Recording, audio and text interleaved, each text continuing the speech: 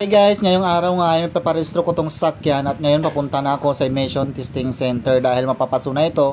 Actually nagulat ako pag buklat ko ng OR niya is ngayong araw na pala ang deadline or bukas pala. So ayan, dito nga pala ako magpa-emission sa may Apolonio, Samson sa may Quezon City.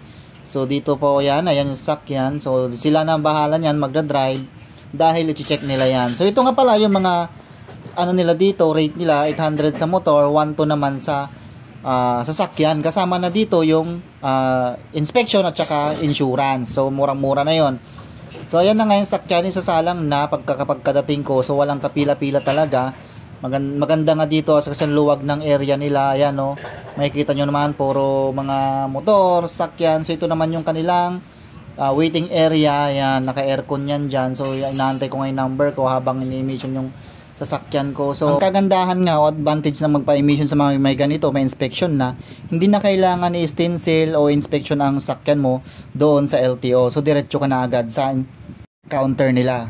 So, mga ilang minuto, nilabas na rin yung result ng emission ko. Ayan, tapos na ako magbayad. Actually, dito na ako sa sakyan. So, yan, kinabukasan, pumunta na ako ng LTO dahil inabutan na ako ng uh, hapon. Kaya umaga na ako nagpunta. Ayan, LTO na yan. Tapos binigyan ako ng number antayin ko na lang yung tawagin yung pangalan ko doon sa may number doon.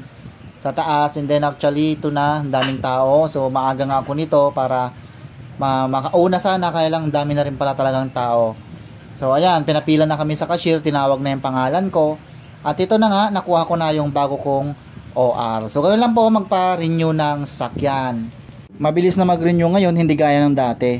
Ito nga pauwi na rin ako. So inabot nga pala lahat-lahat ng gastos ko sa emission at saka insurance, sumabot siya ng 1,200. Sa LTO naman, 1,600 ang inabot. So, pwede naman siya mag-renew ng online. Yun nga lang kasi yung sakyan ay hindi pa sa akin nakapangalan. Kaya, kailangan ko munang mag face to face sa LTO. So, ganun lang po. Share is caring.